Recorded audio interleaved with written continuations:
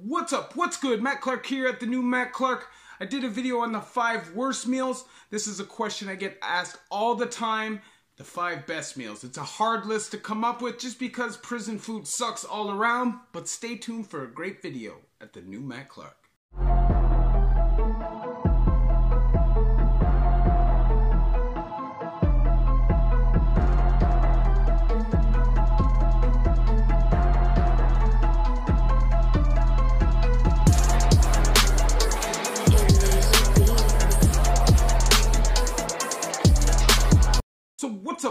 What's? Matt Clark here at the new Matt Clark. How are each and every one of you doing on this amazing Monday?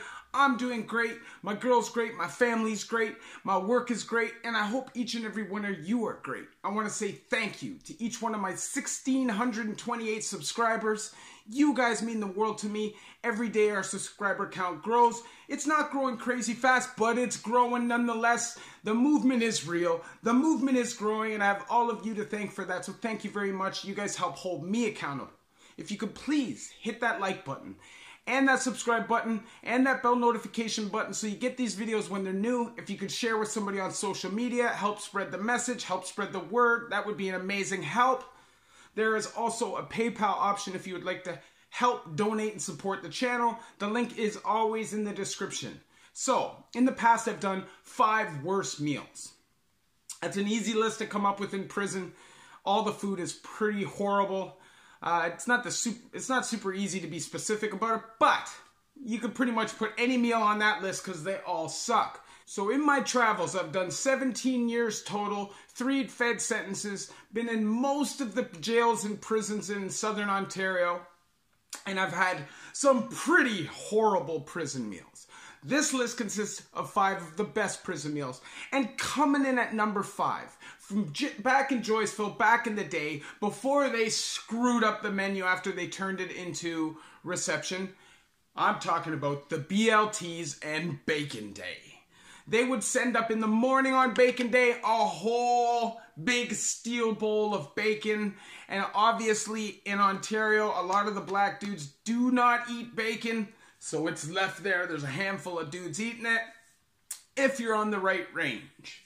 Then there was the Friday afternoon BLT. Sliced tomato, lettuce, real nice crispy bacon Mm-mm-mm, with some mayo and some chickpea and bean salad. Woo! Some real delicious prison food. Now let's get that straight. I said prison food. Because the reality is, in the street, I would take that BLT and chickpea salad and throw it in the dang garbage because it's crap. But in prison,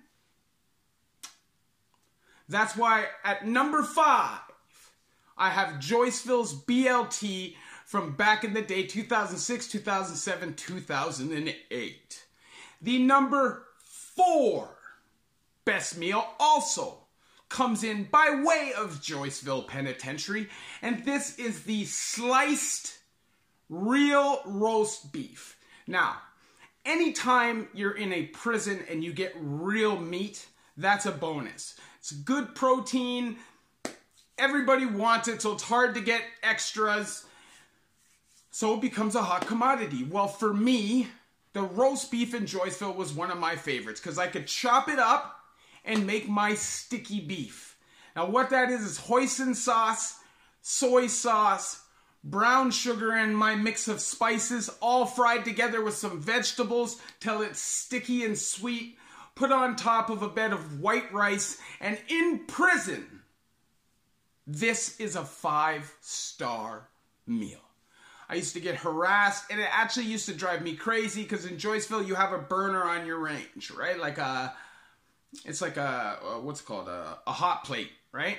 And there's two burners, so you can you can revamp up your meals on some level. They have frying pans and stuff, so you could chop up anytime you get real meat or anytime you get stew or anything that has chunks of meat in it. We'd rinse that off and we'd revamp the meal. But this sticky beef, I used to get asked multiple times a week to make it by people that were stoned on marijuana, the reefer, the pot, you know, the stuff these young kids are doing these days. And honestly, it drove me nuts, but the meal's delicious And although it would be much better out here, where you can buy real choice cuts of meat and the food is delicious, at least in there, it tastes like real food, has some real substance, and uh, at least you can fill your belly with something that at least seems like somewhat home cooked. So that's why at number four, I also have a meal coming in from Joyceville, and that is the sliced real roast beef. I don't even know if they give it out in reception anymore, but they gave it out the whole time I was there, and it was a hot commodity. So coming in at number three is the Sunday morning breakfast and the Thursday morning breakfast from Central East Correctional Center, Central North Correctional Center, or Central West Correctional Center, which is Lindsay, Penetang, Maplehurst. I think also Ottawa eats that food. I think that Niagara eats that food. Those the Sunday morning breakfast and the Thursday morning breakfast. So the Sunday morning breakfast is three breakfast sausages, little sliced cube potatoes, and scrambled eggs which I would chop up the breakfast sausages, put it all together in one big thing with a bunch of salt and pepper and ketchup. I would try to buy as many extras as I can and eat those meals for the whole day. It's one of my favorite meals there. I would even eat that meal out here, even though it's really crap, low grade meat and food. For some reason, to me, it tastes delicious. And then there's the Thursday morning breakfast, which is a circular omelet with melted cheese folded over on a bed of cubed potatoes with a nice little thing on the side of hot porridge. Now that meal has substance. That's one of the few meals in the correctional centers like the super jails that actually has some on your belly and makes you feel a little bit full. So that's why at number three, coming in from the Super Jails, Lindsay, Penetang, and Maplehurst, is the Sunday morning breakfast of three sausages, cubed potatoes, and scrambled eggs. Sorry. And the Thursday morning breakfast of a circular omelet with cheese folded over on a bed of potatoes and some oatmeal. Coming in at number two. Now, this, this has got to be the number one on most people's list in any prison that serves it. And that is chicken on the bone. Now, when I first started doing time, right up until about 10 years ago, maybe eight years ago, almost every jail or prison that you went to served chicken on the bone. The problem is, the bone can be used as a weapon. We got carbon fiber buck knives, shanks, razor blades. What the hell? Is somebody going to use a chicken bone for? I mean, I guess it happens in some places out of desperation. But there's way better options than a chicken bone. So give us back the chicken on the bone. Or peel the chicken off the bone. Now, for a while in the super jails, there was a version of the chicken on the bone that was off the bone. I don't know if they serve that anymore. I haven't been to the super jails for quite a minute. But number two chicken on the bone because no matter where it comes from, it's low grade chicken, but it's chicken. It's got high levels of protein in it. You can revamp it if you're in a place that's got a hot plate or a microwave. Chicken, chicken, chicken. I love chicken, doesn't matter. Chicken is the one meat in the street that doesn't really, it's not like steak where you really have to look about buying the best quality stuff. Of course, you want the best quality stuff, but chicken is kind of chicken, right? It's kind of slimy and gross until you cook it chicken on the bone from any jail that serves it is my number two meal on this list. Now, I put a notable or a runner up on this list just because it's something that should be recognized, and that is the Big Mac combo with fries and a Pepsi or the Tim Hortons breakfast combo of an orange juice and an egg McMuffin is this is what you are served in any police station in York region.